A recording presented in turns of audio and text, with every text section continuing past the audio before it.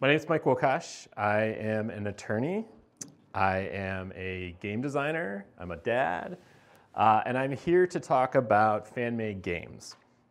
That's my lovely daughter um, from just a couple days ago.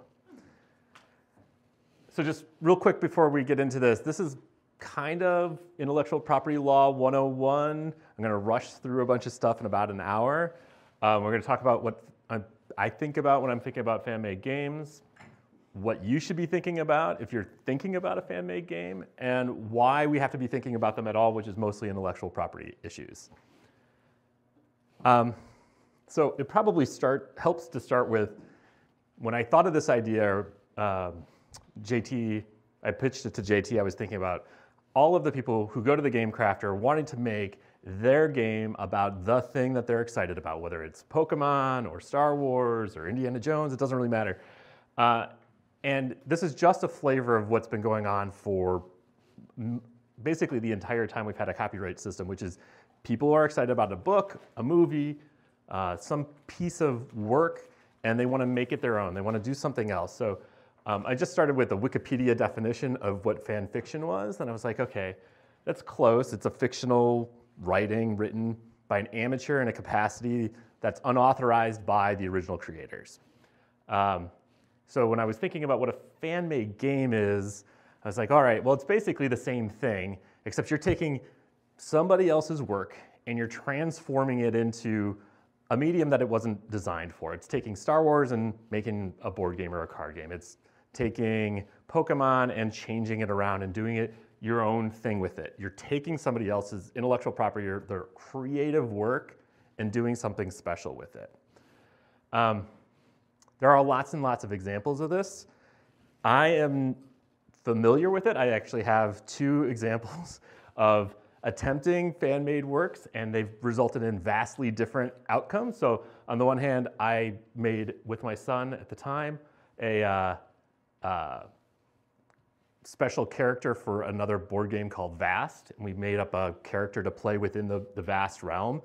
It was well received by the publisher, by the artist. The artist actually took my fan-made work, created a crystal golem for me, and we you know, sort of made this player board uh, from it.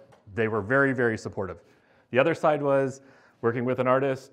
We didn't like the skulls and monsters of the original The Game, um, and she had created uh, a sort of a beautiful, colorful array of numbered cards this drew the opposite reaction um, from the original publisher uh, when they found out that we had uh, created a set of cards that you could use to play the game.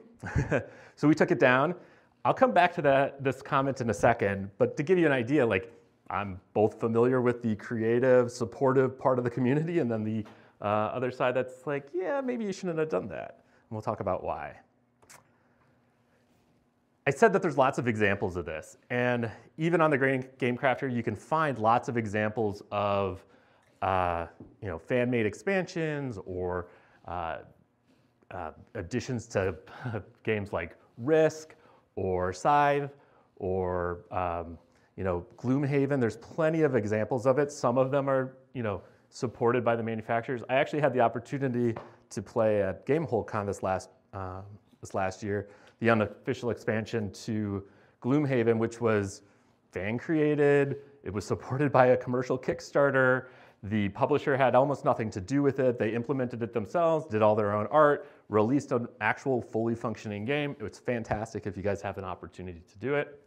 On the far left is JT's uh, example of a Stargate board game for which uh, I think he commented in a Facebook post that I haven't yet gotten the rights to it, but he went ahead and started down this path of designing a Stargate uh, board game. So, JT, is he out there? He's not. Far, right, uh, yes, you're far right. Um, but he doesn't have the rights yet. He went ahead and designed the game anyway. I'm calling the cops. Yep, you absolutely should. I don't know who owns it. Warner Brothers, maybe something. No.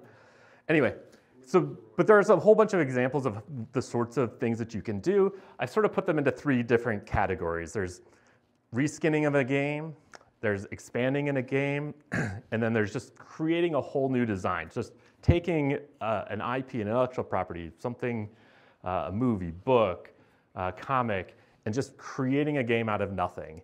Um, all three of these, depending on what you can do, fit in, uh, will sort of trigger different intellectual property regimes. But the way I'm thinking about it, you've got reskinning, which is you're basically you're making your own, let's say Catan. You're coming up with your own rules. You're applying uh, maybe uh, an intellectual property like Game of Thrones or something to it, or Monopoly, you're making a Monopoly version of Mr. Rogers' Neighborhood. I don't know. It doesn't matter. Yahtzee for tax lawyers, something. Um, but you're just taking an existing design, you're throwing something else together because that's what you want to do. Um, there's the expansion, which is you like a game so much, or you like a universe so much, you want to do something more with it. And good examples of this are uh, people who develop uh, Dungeons and Dragons 5e campaigns. They're, they're making their own things. Sometimes they're permissioned, sometimes they're sanctioned. They don't have to be. Uh, we'll talk about that.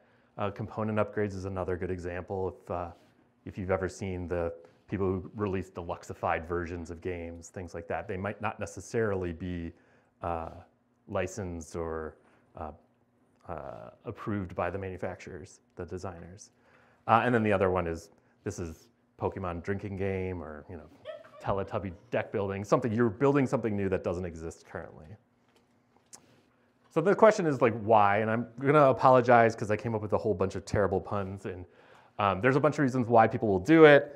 Uh, they don't have, uh, all right, fine, just read the. Do you, do you have the rights to use? I do not, that's a good question. That's like, uh, um, this was actually a photo from the Star Wars uh, in Disney World, yeah. Um, but in, but in any case, there's lots of reasons people will do it. Mostly it's because they're excited about uh, uh, a universe, they're excited about intellectual property.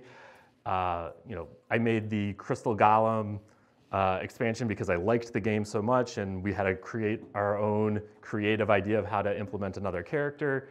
Uh, there's a whole communities who work on making solo modes for uh, board games. You heard some solo modes design stuff earlier.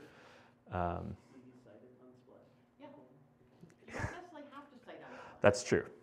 I was telling people earlier they had to come to this session. Ah, well, you don't have to. Um, I did. I'm glad you did. So there's lots of reasons why, and so fans will do this for their own reasons. There are lots of reasons why a lot of publishers, designers, authors, movie producers, uh, artists are good with it too, and um, this is pretty light on the screen. For them, there's incentive, right? Like they have a very excited fan base who is, you know, essentially promoting their intellectual property. They're doing something for the community. It's often free, and they're not charging anybody anything for it. Uh, these are often the most dedicated and vocal members of a community. Like, what better way to get the word out about you know, uh, a smaller intellectual property or creative universe than to have somebody build a game on it and show it to the whole world. Um, not every publisher is exactly the same way, uh, but for the for the publishers, they often don't have a choice. Suing your customers is bad. I mean, you don't really want to go after the most vocal part of your community. Sending cease and desist letters isn't great. Um, there's no guarantee that they'll win, and we'll talk about why there might be chances that they wouldn't win. Um, it's also they don't always have control over what the content is. You can imagine the not safe for work sorts of things that you could end up with, and you might not want that. And there's also the problem that what happens if a fan creates something in a space that you're already looking at moving into? So you've created a board game for an intellectual property that they had just licensed to a publisher or manufacturer to do them do themselves. So um, it is okay sometimes. and I mentioned earlier that I was going to come back to the uh, the Pandasaurus comment about uh, the, the the reskin of the game.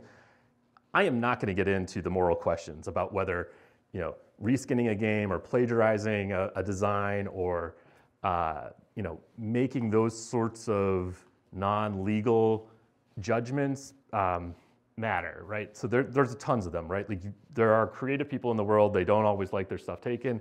That is a strictly moral speaking, morally speaking, not something I'm going to cover here. I'm also not really talking about plagiarism, which is literally taking and not crediting and not sourcing and not um, attributing and trying to pass off as your own a, a, game design. And there's plenty of those disputes that are out there as well. Uh, and I'm not going to get into, uh, especially during the pandemic, the knockoff or the counterfeiting set of regimes where somebody took a game, basically copied all the graphic design, selling it for cheap on Amazon, that sort of thing. I'm not going to get into that because that's not helpful for um, most game designers are the reason that we're here. Um, so I promised Tavis and the game crafter that I would give one cheat sheet for to them to use during conversations with designers about what is and is not okay at a very high level and what they can safely say they can do and can't do. And so this is my cheat sheet. If you have one thing that you take away from this, it's going to be the next slide. Um, and I've, I've put this as what you can safely do and what you cannot safely do. It does not mean that you can't do one thing or the other, but if you wanted to be like strictly within the bounds of, okay, I can get the game crafter to print my game and do this stuff, then we're talking about the things that you can safely do.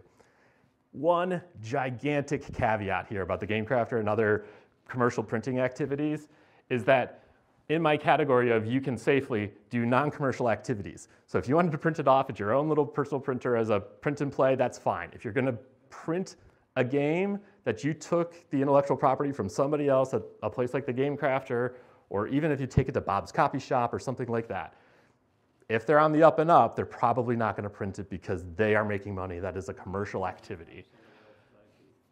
Yes, uh, exactly. So I'll quickly go through it. Like you can safely do what you have permission to do. And we'll talk about permission at length in a little bit here. You can imagine, you can create, you can do a whole bunch of non-commercial designing, preparation.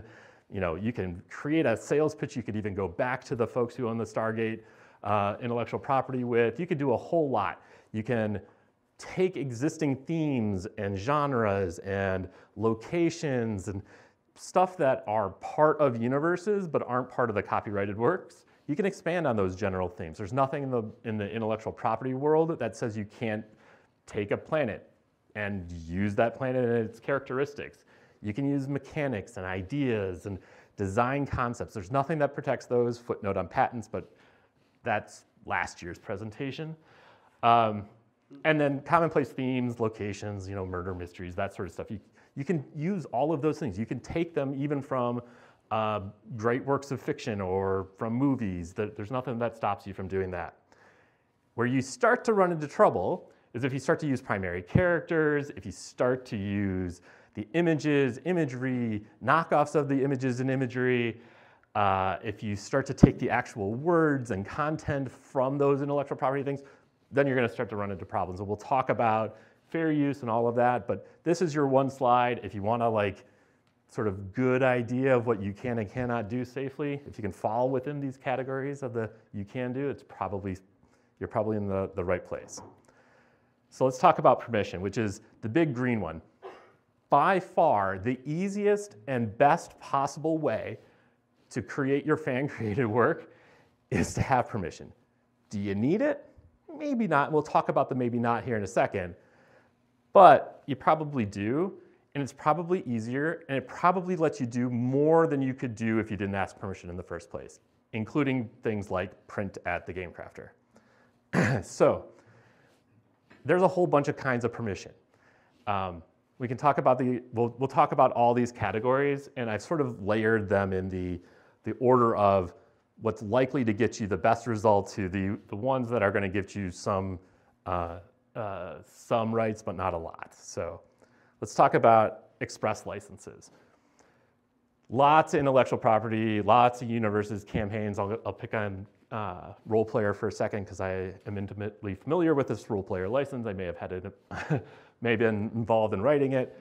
Um, lots of companies now recognize that people want to be able to develop games, expansions, create within the universe, and they give players and creators and designers express permission to do it. So the Roll Player adventure license basically says you can use our assets and our designs and all of this stuff to create a, a Roll Player adventure. Like Keith was on board with that, and that's exactly what he did. There are other ones, Z-Man Games I found, they have a community license that says the same thing. The really important part here, though, is if you see a specific license from a manufacturer, from a designer, uh, you just need to ask the questions. What are the things that it's actually permitting you to do? What does the license say? And sometimes that they helpfully lay it out up top with the big bullet points and in bold print. Uh, it also is important to understand what it gives you the rights to. Can you use the card templates? Can you use the original art? Can you use other elements of the games? Um, what uh, Roll Player Adventures license did, they, they basically packaged up a whole design kit and said anything in this kit, you can use that as part of your, um, your Roll Player Adventure. They let you design cards. I can show you my Roll Player Adventure card designer if you want to see based on that license. Um, other things, whether it requires attribution. So like, can you just take a Roll Player adventure, call it your own? Eh, probably not. Um, there, are other, there are other examples of this that are out there. I pulled what I'll call community license or public style licenses. These are intended, they're kind of, they're intended like Creative Commons licenses to be used and applied to a lot of different things. Um, I pulled this one um, out of the uh, the public license for, um, yeah, for 5e. and if you look at it really carefully, the, the types of things that you get licenses for, probably not what you're thinking about necessarily at first. You don't have rights to a lot of the things, but what you do get rights to is to use the methods, procedures, processes, a lot of things that are necessary for 5e, but they're not the cool graphic art, design, templates, things like that that you might expect. Um, so you just need to be careful about, again, what these licenses um, entail. and then the other path to getting permission is just to ask. Uh, in this case, if you were the MGD Light guy um, and you wanted to make your own Pokemon drinking, drinking game, you could definitely try to go to Nintendo and say, hey, can I have a license? And you can um, and so you can send your email off. You can you can hope for it. Um, and what, what you're gonna not not a real email. That probably would never have worked. Um. I'm pretty sure Nintendo, Hasbro, Fantasy Flight, Asmodee, like a whole bunch of the top tier people have said yes, but you have to spell out personal use only printed at GameCraft. Yep. So what I was going to point out is what I did do is say exactly what I was going to use it for. I want it for my own purpose. I want to do one print. I'm not going to sell it. I am going to narrowly do this for my own good. Now, Pokemon Drinking Game probably doesn't meet their community threshold and what they would support in doing, but you could always ask. And there, there's no harm in asking. Um, and if you do get the permission, if they're, they're cool with it and they send it back and you include that email with your uh, order and Heather doesn't bother you about it, it's. They might uh, email you back from an undescript uh, Gmail email. yeah, exactly. So in any case, uh, there's always that. Most places with significant IP rights and properties, they have a licensing department. They, you can just you can literally reach out and contact them. They might also have some form of public non-commercial license that you can use, and they'll give you permission to do a commercial print, something like that, uh, for your own for your own purposes. So this all begs the question, though: Why do we even need permission at all? And why is there any of this concern at all? And this is the IP crash course part of the presentation. And if you guys are all still awake at 8, whatever, 8.20 uh, after dinner, um, I will explain to you why people care and why it matters that we get permission and why permission is probably the best possible path if you plan to do much of anything with your uh, fan-made game. The first point is that most, in, most uh, of the fan-made either writings, games, uh, fan fiction is based on some copyrighted work. And a copyrighted work gives an owner a set of exclusive rights that only they can exploit. It's, it's an exclusive set of rights to an original work of authorship, and this comes right out of the Constitution. So we have a copyright statute that's based in the United States Constitution, and this is why we have to worry about these things because in those exclusive rights includes things like the ability to reproduce a work, to prepare derivative works, which is really important here, and to distribute copies of the work. So the thing that most, most fan fiction and most fan-made games run into is it's a derivative work of some other creative, creative work. And the risk is if you create a fan-created work, you try to do something like go to the game crafter and print it, or try to turn around and kickstart it, or try to sell it, or try to monetize it, even just trying to put it on your own website for other people to use, in theory, you risk a copyright infringement or a cease and desist letter from a publisher for the unauthorized derivative work, unauthorized creation of um, a copy of some aspect of the, the, uh, the copyrighted work. Um, and that's an infringement. So then the question becomes, well, what of these great things, these universes, these you know, properties are actually the subject matter of a work of authorship? What are the things that a copyright would attach to? And the general answer is it's pretty much anything that's drawn, written, videoed. If you can do something creative, if it's a creative element of any kind of work, there's some, some sort of copyright attached to it. Um, if you want explanation on public domain and other exceptions to the copyright rules, that's last year's or the year before's presentation. Um, I'm not going to get into all the exceptions of what it is, but it's basically anything that you create.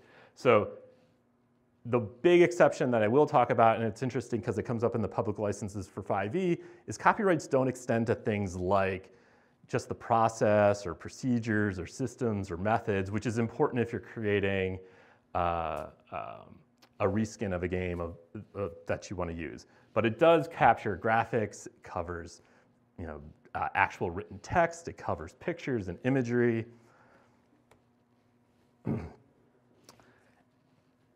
and probably the most important thing for fan-made games is the idea that a derivative work, a work based upon a pre-existing work, is an exclusive right of the copyright holder is really important for a fan-made game. Because in essence, it's the thing that lets Marvel create Marvel board games or movies. Their right, their exclusive right to the Marvel properties gives them the rights to those derivative regimes, which sort of coincides with what most people think of when they want to create their own deck building game or their own worker placement game based on those same universes. And if you create a derivative work and you try to release it, your risk is a copyright infringement. the, um, the statutes help hopefully explain that there's a non-exhaustive list of types of um, uh, derivative works, like things like translations and musical arrangements, dramatizations, fictionalizations. You can throw in there gamifications, um, sound recordings, things like that. But not everything is treated the same way under the copyright regimes. And I've created this little heat map for people to understand that when we look at the world of all of the things that might fit into a universe or a, an IP or uh, you know, into a, a writing or a movie that you might want to use into a game or something like that, there is different levels of protection. So at the top are the things that are the core of copyright, things like artwork, things like creative writing, the actual iconography of board games, stylized words and logos, the graphic design. Those are all things that are protected highly and at the center of, of uh, copyright. Um, it goes down a little bit and says things like distinctive characters. Typically, you don't get a copyright for like little clips and phrases out of a book, a secondary character, tertiary element of a story. Like those don't rise to the level of independent copyright protection, but distinctive characters, distinctive places uh, definitely do. It's hard to read on the screen, but the, uh, the the citation here is to a case that says that not every character is entitled to copy, copyright protection. Copyright protection is available only for characters that are specifically distinctive. So this is the Han Solos of the world. This is maybe not uh, just the, the, the, red shirt on a Star Trek that doesn't have any particular characteristics associated with them other, other than dying constantly. Um, the, other, the other things that sort of as we move down, written rules, Uh, if you're if you're going to make a reskin of a game and you're copying verbatim the rules, you're you're probably in the uh, copyright protection. But as you move further down, things like forms and sheets and tools, the amount of protection there is, gets smaller and smaller. There's, for example, I'll just pick on Yahtzee again for a second. There are lots of Yahtzee forms and remakes of the, the Yahtzee forms. And while they try really hard to protect the very specific Yahtzee forms, there's not a lot of copyright protection over creating forms and accounting spreadsheets. And we can thank the accountants and tax lawyers for that one because they use the same forms over and over and there's not a lot of copyright protections. As you start to move down, there's almost no protection for things like general structures and outlines and commonplace motifs and stories. So like the dark alley for a murder mystery game, doesn't matter what you, did, you pick, a dark alley is a dark alley. Lots of people use that motif. Settings, scenes, um, styles of play, like there's no copyright protection or anything that would stop you from creating another deck builder game or worker placement or area control. And then at the very bottom are things like facts and numbers and processes and procedures. So like you can create as many trivia games as you want based on the actual facts, even if they're made up in you know fictional facts, uh, as crazy as that sounds. Um, and so then the question becomes, all right, if I'm creating a fan-made work, where are the real risks to, uh, hold your question, let me get through this one real quick and I'll get to your question. So then the, the question becomes, if you're creating a fan-made work, and I've given you this heat map of the types of things that increase or decrease your risk if you're using those elements, where is the real risk? It's if you're using the copyrighted, the, those things that are at the core of the intellectual property rights, the copyrights, if you're using the art and the icons and the graphics and the imagery, if you're using the main characters and the stories and the storylines, the very specific backstories, the very expression of uh, the Harry Potter universe, those things that are in there, maybe even the spells or the way that the spells work out. Um, those are the types of elements that uh, are the riskiest and are most likely to draw fire. As you move down the heat map, you know, drawing inspiration from the Harry Potter universe and creating a school of wizards and, you know, that separate the boys and the girls in crazy little towers, like you're okay with that. Good example, I'm gonna pick on JT again. The Captain is Dead is a classic example of creating a game that looks an awful lot like Star Trek, including a thing that looks an awful lot like a, the, uh, the Enterprise. But it's drawing on inspiration, it's drawing on themes, it's drawing on uh, you know, general purpose stuff, but it's not taking directly Jean-Luc Picard and sticking him smack dab in the middle of the game and saying he died and now uh, the crew has to figure out what to do with the ship. Um, I trust Riker. the real problem for most fan-made games, though, is you're in the upper quadrant here. Like you want you want to be able to use those things, and that is what draws the ire of publishers. That is what draws the ire of intellectual property lawyers looking at fan-made games, going, can we really permit them to do this? And this is what gets you in the place and position of not being able to print games at the Game Crafter. So, did you have a question then? Uh, I mean, sure. I guess the last slide, I saw something like, um, so place, places are protected, but scenes are not. Like, it it seems like, what's the delineation there? Like, the bridge of the Star Trek Enterprise? You know, is that a scene or is that a place? Yeah, so the more, well, let me put it this way. The more specific something is, the higher up it goes. So like if you're just, you're talking about the literal Star Trek Enterprise, you know, and you're, you're calling it the Enterprise Bridge, and you're describing it in the details that Next Generation has used, and you're using the same imagery, like the more and more specific you get. The idea of a starship bridge as a place and a, lo- as a like general scene is fine. There's nothing to stop you from doing that. But if you're saying, I'm on the Enterprise, I'm in the captain's chair, which is center of a circular bridge with a big giant screen that, you know, like then you're starting to get closer and closer. But again, um, if I'm if I'm thinking about this, there's ways to even do that and still be okay. So it's really about the nature of the what you're taking. So if you're taking Mordor as the location and you're using it as Mordor, you're probably running closer to the uh, higher levels of protection and much more likely to run the risk of drawing a cease and desist if you use it in a way that um, isn't okay. Are we good? Does it confuse the original IP? that is a different issue. We'll get to that in a second.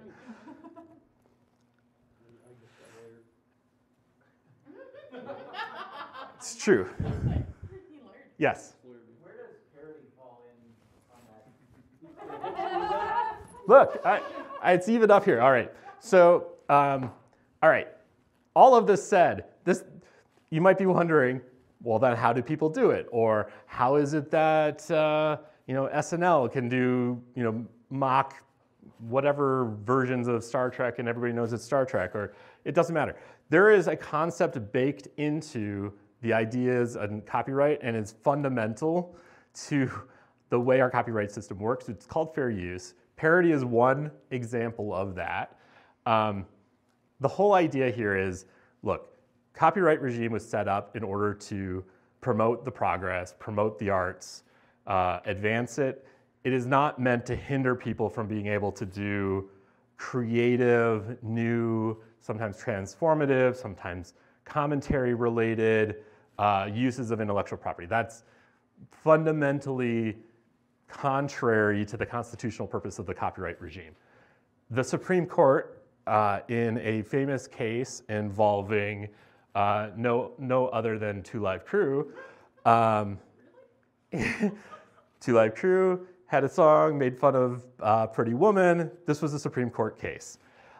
Let's just say that basically the way that the Supreme Court came down is it, it said just because they used Pretty Woman doesn't mean that it's an infringement. And you don't necessarily get an, you can't necessarily enjoin, stop somebody from creating a work simply because it looks like an infringement if there is another purpose for it. So parody, there's, that's the common one people point to when they're thinking about fair use. But for most fan-made games, parody is probably not the place that you're going to end up. because what ends up happening is the way fair use works out is the courts do this four-part test. I'm not going to spend a ton of time on it. Again, I think I did this last year. Um, but they look at the purpose and the character of the infringement of the work of the secondary work. They look at the nature the, of the use of that work. They look at the amount taken, and they look at the effect upon the original work. And they sort of do this balancing test and ask the question, do we want this sort of thing to happen or don't we? And they do this weird balancing. There's no magic formula I can give you to tell you which way the courts will come out. But what I will tell you is that there are there is one very recent Supreme Court case, uh, I think it was just last year, that Google won, in which the court looked at uh, a fair use analysis in a commercial product where they made a transformative use of Oracle's Java code, which they found is not infringing, even though they took a substantial amount of the Java implementing code and created their own Android operating system. The Supreme Court's like, yeah, that was different. It was transformative. It gave it it is doing what the uh, what the Constitution wants us to do. It enabled Google to uh, advance uh, a different purpose that the underlying Java code by itself did not. The other case, I think was argued just last month, was a case in which the photographer took the picture on the left, Andy Warhol made the paintings on the right. The paintings on the right were licensed to magazine covers, and the photographer didn't get any money from this. And she sued the estate of Andy Warhol for um, those two cases, uh, for, the, for the magazine's use of it. Needless to say, that case is up at the Supreme Court. I can't tell you how it's going to come out, but the underlying courts have gone both directions on whether this sort of use was transformative which again, from a game designer's perspective, and you're looking at fan-made games, and if Andy Warhol can get away with using that picture in that way, there might be a good argument to say your games are transformative and may not be an infringement. Which actually brings me to the non-commercial point in the Google case, because Google made, Android makes Google tons of money.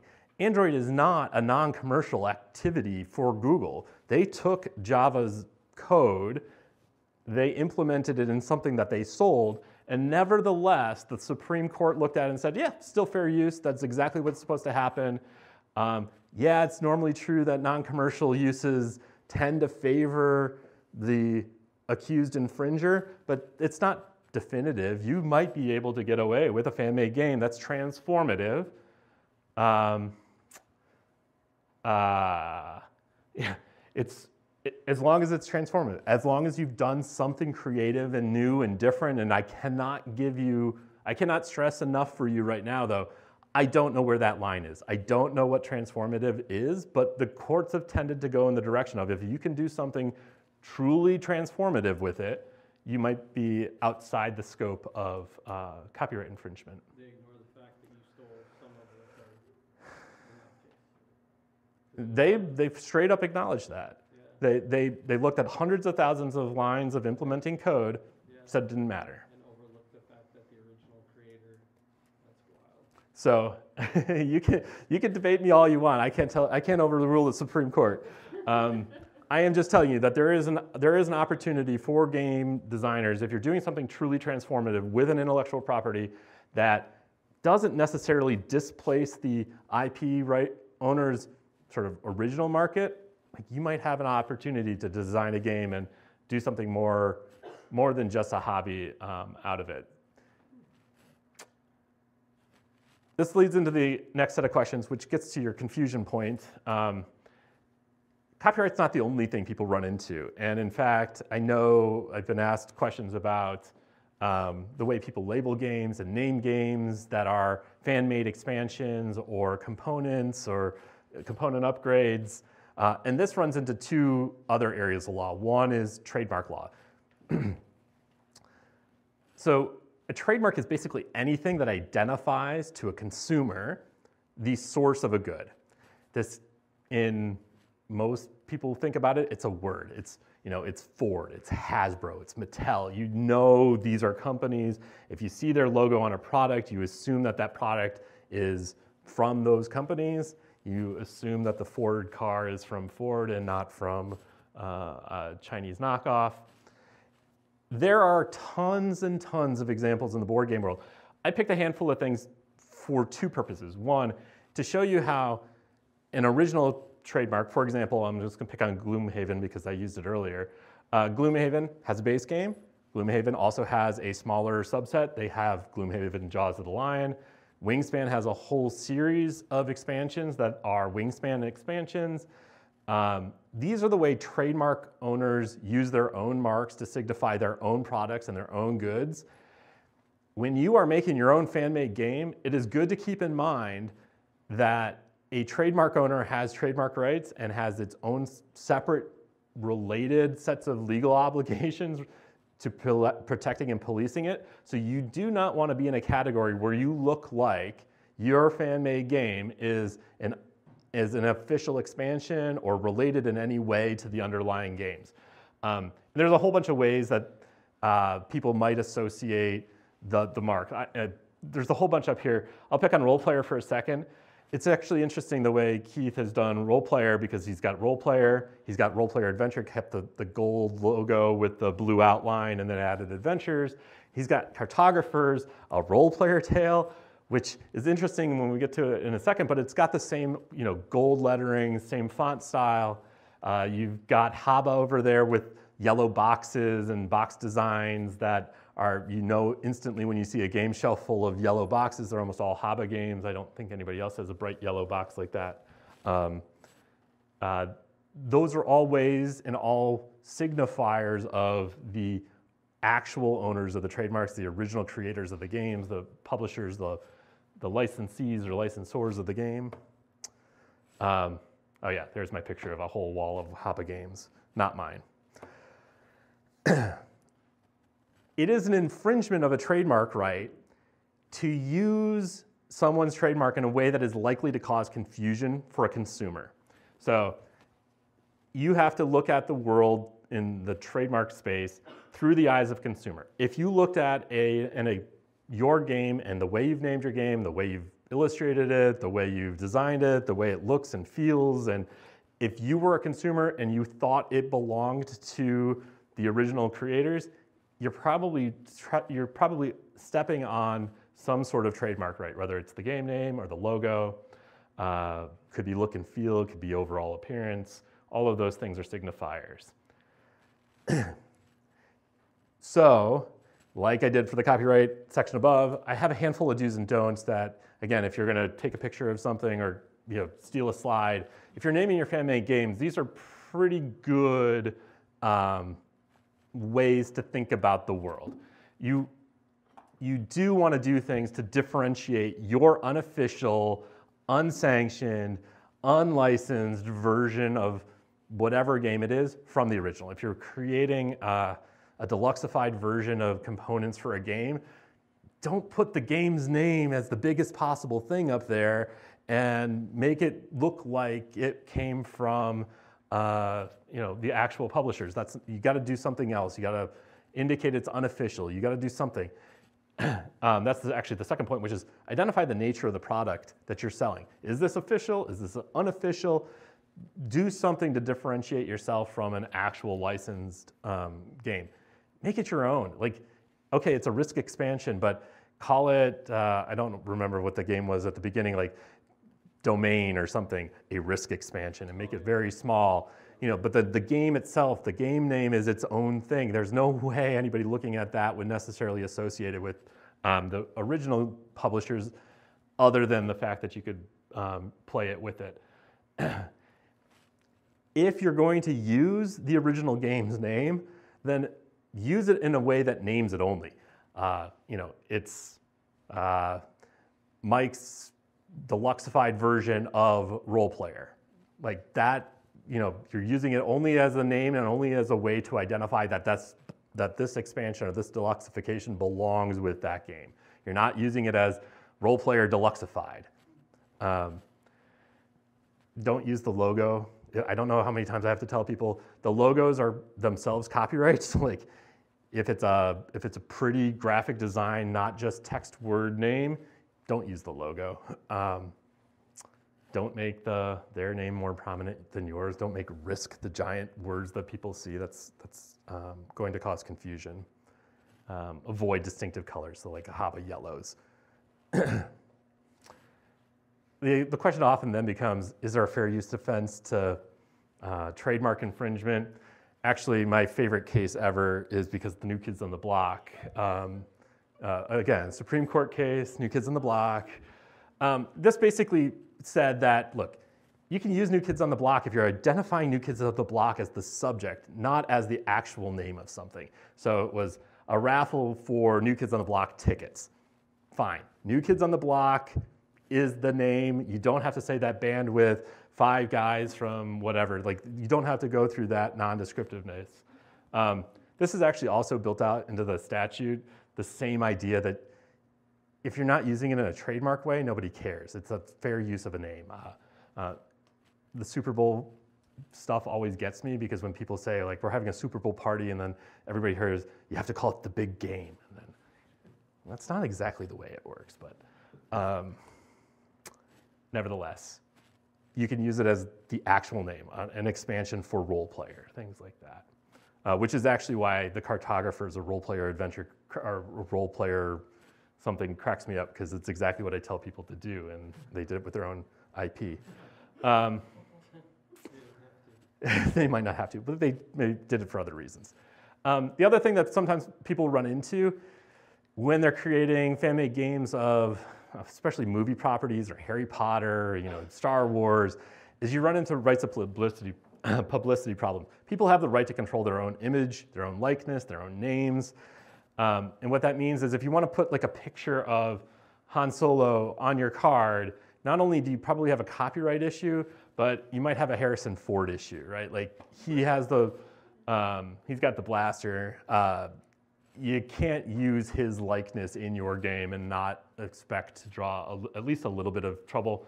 This comes up in photos. It even comes up in photos of just random people on the street. You could have the same rights of publicity problems, even if it's not a famous person. Um, same thing goes for illustrations and likenesses of people. So just because you can put Harrison Ford with blaster gun into Midjourney AI and come up with an illustration doesn't mean I could use this in a video game without running into the same sorts of um, uh, rights of publicity issues. Same, same is true with politicians. The public servants. The same is technically true. There's a commentary, pop parody. Yeah, that's what we get a lot of, Um, specific people. Just like, I, I could imagine. Um, I'm not your lawyer. I don't. Depending on what the game's like, you should probably just print it. I don't think we wanna draw, we don't wanna draw the heat. Yeah, so, right. There are other exceptions to the rights of publicity. There's definitely commentary, news, parody rights that you could have that might still apply. Um, but this is a particularly tricky one. It varies from state to state, it varies from jurisdiction to jurisdiction. The best answer is unless you got specific permission or uh, an actor's release or whatever, you should probably just not use it at all.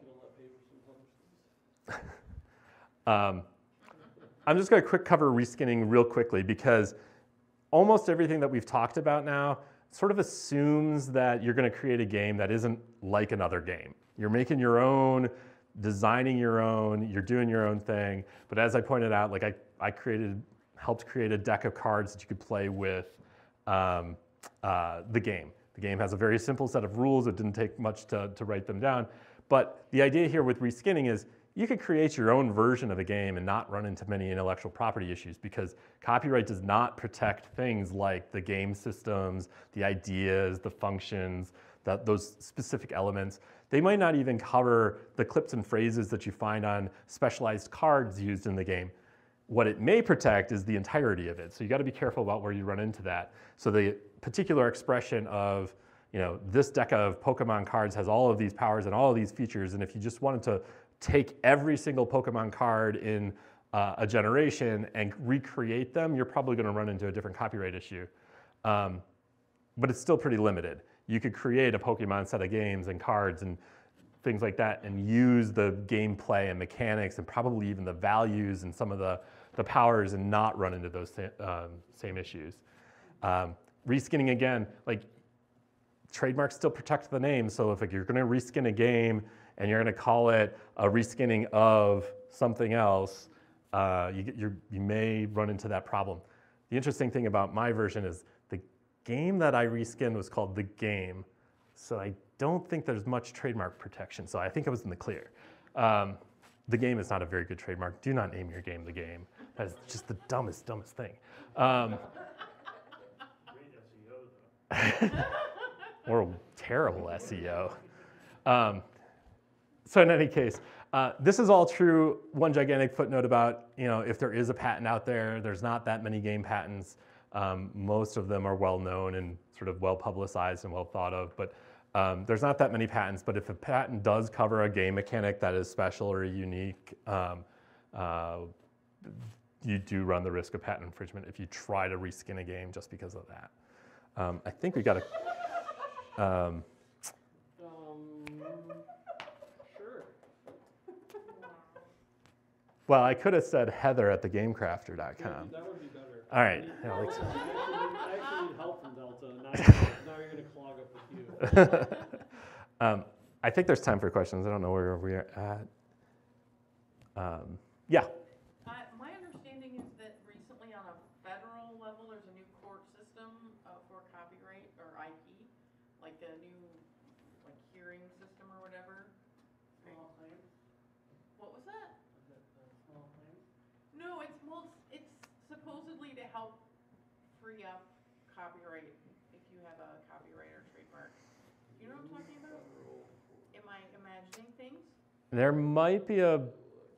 So Is it a review board or maybe it's not an official court system?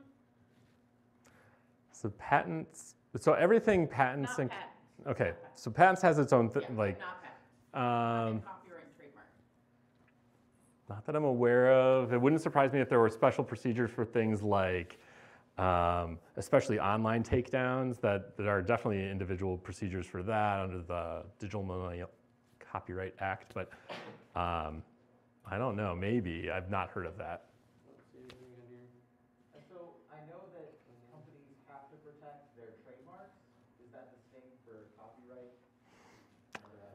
Yeah. Okay. So the so the question is, um, is there the same obligation on a copyright owner to protect and enforce their copyrights, like there is the rule in trademarks? So trademarks you only get your trademark because it's distinctive. Consumers know to look to you as the trademark holder for that intellectual property. If you don't enforce it and everybody starts using, uh, I'll just uh, elevators or escalators as the name of the same type of good or service, then you start to lose your trademark rights. And so, what trademark owners typically do is have to enforce their trademark rights against people who try to misuse their trademarks to pass off as the same product names.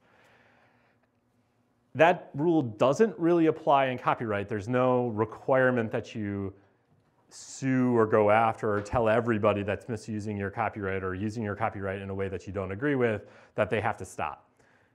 The problem is if you're really lax on it and you're letting an infringer get away with infringement over a long period of time, potentially the period of time in which you have the right to enforce it, your, that infringement risk might have gone away. You, that uh, statute of limitations might have run on that particular set of infringement. There, but there's not really uh, uh, a rule that says somebody who continues to sell my product after seven years, I can't go after them for the most recent set of infringements. There's no, there's no like So sitting on your rights issue. New Supreme Court of Judi- Judiciary Intellectual Property Rules, twenty twenty-two. New legislation on court procedures for intellectual property disputes. So what they, so what courts will do a lot frequently is figure out ways to fast track or expedite very common and tedious sets of okay. sets of like discovery or procedures or oh are we really going to dispute ownership of the copyright? Maybe we'll advance the way uh, advance a way more quickly for the copyright owner to demonstrate they are in fact the owner without requiring three years of litigation to Oh prove ownership it should take three years. It does Well, take three years? it could take a while. I mean, a lot of copyright cases can take a while. There's discovery. Um, I, I kind of blew past it, but as a copyright owner, to prove infringement, you have to prove that you own it, that it's an original work of authorship, that they had access to the copyrighted works, that they, they took and stole. There's a whole bunch of elements of it. Do you advocate, because I know you can file copyright what, for fifty bucks or something yourself. Do you advocate that as a way to protect things on a copyright basis or? Uh, so, so this is turning the question. No, no, it's it's fine. This is turning the uh, the situation around, right? So if you are the original creator, and actually we could talk about whether you have copyrights in your own fan-made game and your own creative expression, which you totally do. Um, whether you want to go file a copyright registration over your creation, eh, I don't know, but. Um, if you are the copyright holder, you get copyright rights automatically the moment you set pen to paper, the moment you, you know, print your ink to playing card, uh, the, the moment that it's actually fixed in a tangible medium, that's saved to your hard drive. Um, not just me talking at you, um, but the moment it's recorded there, then it magically becomes copyrighted. Um, you don't have to file a registration it's recommended if you think you're going to have to enforce it because it lets you get statutory damages, it lets you show up in federal court um, without having to do that stuff later. So Oh, it's kind of depending on what you're doing. Yes. So earlier we were talking about taking someone else's IP, making a game of it, and then sending it to the game crafter. And if they print it, like I know you guys are gonna catch it, so I'm not gonna do it. But let's say they did, and then the original IP people find out. Who's gonna get in trouble? They're gonna contact you. You're probably going to get in trouble. I'm gonna get in trouble. What, what they, what they, they may very well send a cease and desist letter to the game. And then we forward it to you. And what, what will likely happen is if they end up is if the game crafter continues to print it, if they continue to have a series of violations, then they're going to end up in trouble. That's actually there's like during the 80s or 90s there's like a whole line of copy shop cases where that was literally what ha- ended up happening. They'd send a cease and desist letter to some copy shop who was making copies of coursework for colleges, and you know the copyright owners, the, the textbook manufacturers realized that that was going on, sent it to the copy shops. The copy shops are like, oh yeah, okay, fine, well, we're still going to do this because we're making a bunch of money. They end up getting sued for copyright infringement. In theory, probably the professors who are asking to copy these articles and put them out should be there, but you know, professors at the time, whatever, they didn't make that much money. The copy shops ended up on the hook for a bunch of those cases. Uh, that's going to be the case here too. You're going to end up as the ultimate like infringer of first right. You're going to get that letter. You're going to stop doing it because you don't have the resources or wherewithal to, to fight them uh, on it. also violating our terms of service by submitting that. We'll just send JT to your house. And Yeah, Mike it's scary. To clean up after. There's not enough crafter points. yeah. So at one point I was curious about, you know, using some IP and contacted their office and no response whatsoever. I mean, That's typical. That does not surprise me either. they're fine with it then, right? Silence is not consent. Um, uh, no, that's a, it's a good point. Very often, lots of these places, especially if you run a very popular IP, you're not going to, you're, you're probably going to be put into a very long queue. There's, you know, like, um, the fantastic things are like when people want to do Harry Potter events and they send their request to run a Harry Potter themed public event to um, uh, Warner Brothers, and Warner Brothers is like, nah, I'm just not even going to respond. They don't have the right to do it. And then you end up with news stories about local Harry Potter festival shut down by cease and desist letter. It's like, it's because they, they, they just moved on. Um, silence is not that. So, So then, we'll follow up. Okay, so with those print photos where it was already printed and distributed and everything, mhm. and say they find that's, you know, not kosher, what happens in those cases then? So it's a good question. Um, the consequence of a copyright infringement is damages, and they're often called statutory damages to the tune of lots and lots of money per infringement. Um, there would be a damages phase at trial, which they would prove how much the, the photographer lost as a result of not being part of the licensing deal. They'd probably disgorge their profits.